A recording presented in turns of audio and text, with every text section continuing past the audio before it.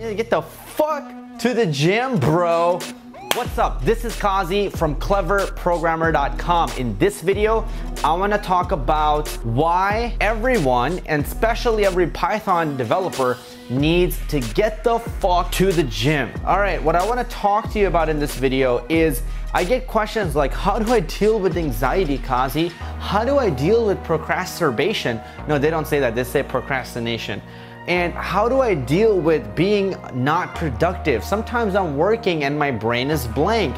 I get frustrated when I'm coding. The simple answer, okay, and probably which not most of you are gonna fucking like, because uh, most of you are probably like how I used to be, and I hated gym, and I love being behind my computer and doing stuff. That's funny. Aaron just raised his hand, but he's actually more jacked than I am. So let's continue with this video. yeah, he comes in. Okay, please understand that a lot of these things that happen with developers actually come from having a weak mindset. And this isn't just applicable to their coding and how they get frustrated and not making much progress in coding. This actually has to do with how when they're applying to jobs, after a few declines or people refusing you or not responding to you, this is actually what's gonna break you down a lot of the times too because you're not mentally strong. Most developers aren't. They're really weak, fragile people, okay? Uh, that is what's oftentimes gonna stop you from making the progress and going to where you need to go. I mean, look at how Jack Simple Programmer is and then think about how successful he is, right? Direct correlation. I'm fucking getting there, Simple Programmer. John Sonmez, I'm coming for you, bro. What I wanna share with people is the reason why some people are just way more resilient. First of all, read a book called Anti-Fragile. We're gonna pop it up in here. Read a book called Anti-Fragile. This book talks about this concept called being anti-fragile. And what does anti-fragile mean? Let's say we have a box and in that box we put a glass. Now if we move this box, that glass might actually break. Now let's say we put uh, something else like a stone. Now if we move it a lot, it might not break. It's kind of weird, right?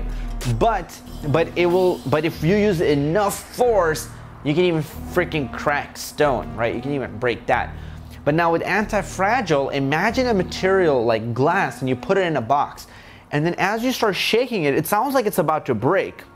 But then it gets then you the more you move it it doesn't break. So you're like what's going on and then you shake it more and then it gets harder and it doesn't break. And then it gets even more difficult to break and eventually it turns into just being impossible. And then what you realize is the more you shake it the stronger it gets. The more you fuck around with this the tougher it gets.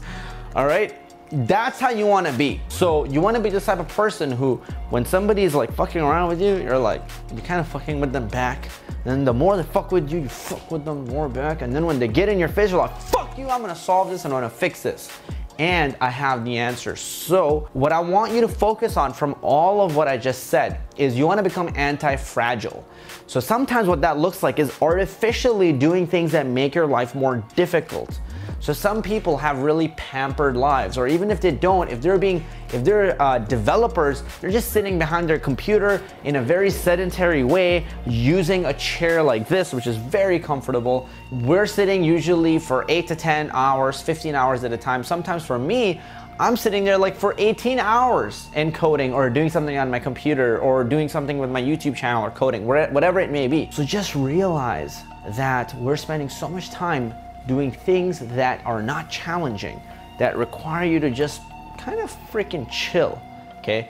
What does this lead to? This leads to a brain and a body that's really weak. Any adversity it faces, faces it, it, it stops and it fails. We're driven completely by our emotions, right? We're, we do a lot of things on a day-to-day -day basis by our emotions.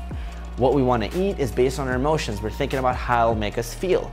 Who we want to meet with is based on our emotions because we know how that person will make us feel. So when it comes to being a developer, that is also really driven by emotions. So if you're not feeling well, you're probably not going to perform that well. And if you're feeling down, because you got rejected from a particular job, you're also not going to keep applying.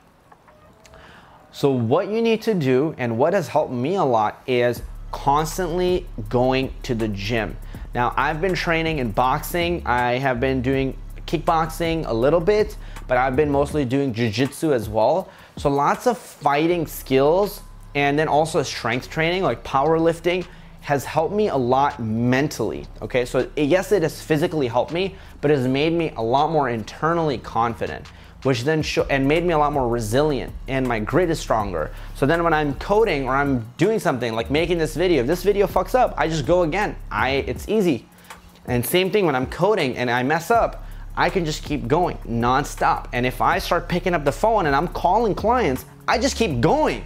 Unlike a lot of you who just fucking give up. A lot of you, what I want to just say is you are strong in your own ways. But sometimes what happens with a lot of developers is that they go, okay, I, I tried Qazi, but I didn't get a job. I didn't get the freelancing opportunity. This coding stuff doesn't work for me.